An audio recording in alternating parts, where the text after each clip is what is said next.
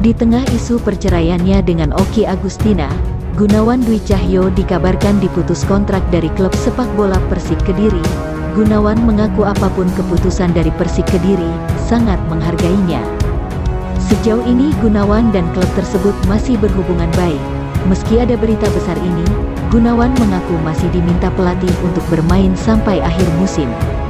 Apa pun putusan dari manajemen itu saya hargai, dan hubungan saya sama Persik Kediri sampai sekarang sudah baik-baik aja. Mungkin adanya berita besar seperti ini dari kemarin pelatih masih menginginkan saya sampai akhir musim, kata Gunawan Dwi Cahyo di Pengadilan Agama Bogor, pada Senin, tanggal 20 November tahun 2023. Gunawan juga mengaku dengan adanya perceraian ini, dia harus bolak-balik Bogor dan Jakarta, sehingga merasa akan drop dan tidak bisa ikut latihan sehingga diputuskan tak bermain untuk Persik Kediri.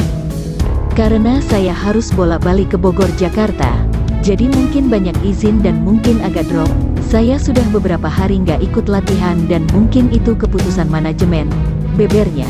Disinggung apakah kaget dengan keputusan klub, Gunawan mengiyakannya. Jika memang berhenti di sini, Gunawan belum tahu ke depannya seperti apa.